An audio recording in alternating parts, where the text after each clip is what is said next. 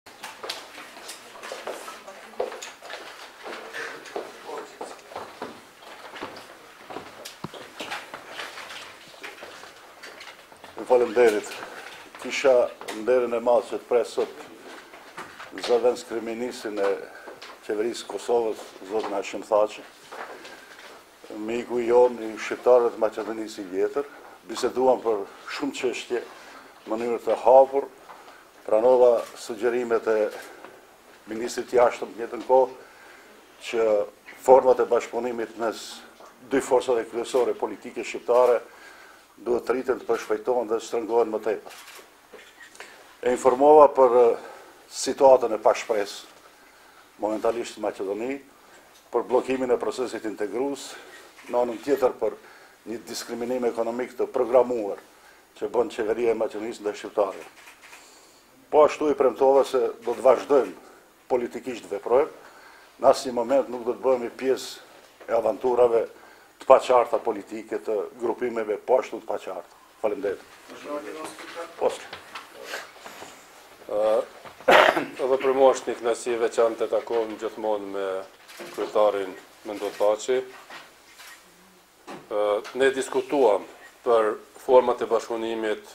ndërinstitucional, por dhe partiak, që kemi edhe një traditë të bashkëpunimit të kahershëm. Diskutuam me kryetarin Thaçi për zhvillimin në Kosovë, në Maqedoni, për thellimin dhe afirmimin e bashkëpunimit në të gjitha sferat institucionale, ndërpartiake dhe shoqërore, Tani Kosova ka shënuar progres duke u njohur nga njëqind e tetë shtete. Ky progres ndërlidhet me mbështetjen e fuqishme dhe të lidershipit të shqiptarëve në Maqedoni, zotit Thaçi, zotit Ahmeti dhe lidershipit të të tjerë. Natyrisht gjithmonë ka qenë përkushtim i Kosovës interesimi legjitim i institucioneve kosovare për gjendjen dhe afirmimin e të drejtave kombëtare të shqiptarëve në Maqedoni, unë inkurajoj dy subjektet më të mëdha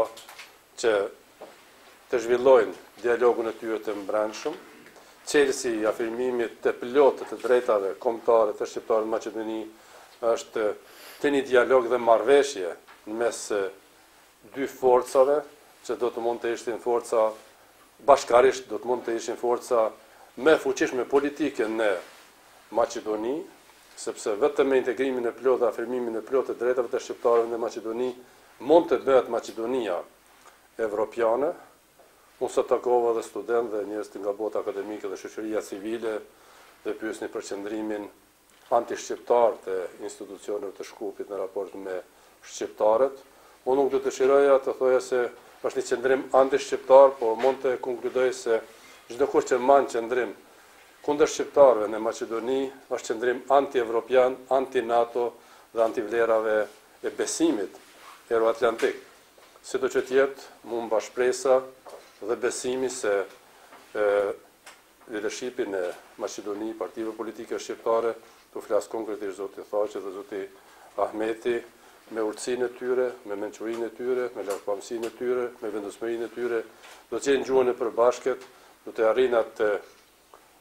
mirëkuptimin e nevojshëm domosdoshëm dhe që e kërkojnë edhe qytetarët dhe natyrisht të përfaqësohen në parlament me një shumicë meritore, me një shumicë të fuqishme, me një shumicë që determinojnë proceset e ardhshme euroatlantike dhe të Maqedonisë, natyrisht sjellin edhe projekte investuese në hapësirat ku jetojnë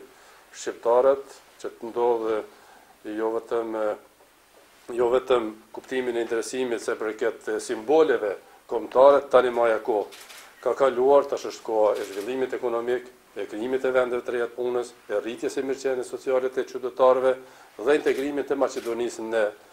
NATO e në strukturat tjera të Bashkimit Evropian. Ne mbështesim fuqishëm Marrëveshjen e Ohrit, implementimin e plotë të kësaj marrëveshje, mbështesim që Maqedonia të lëvizë më shpejt drejt anëtarësimit në NATO, që është në interesin jo vetëm të Maqedonisë, por interesin e gjithë rajonit dhe në këtë drejtim mendoj se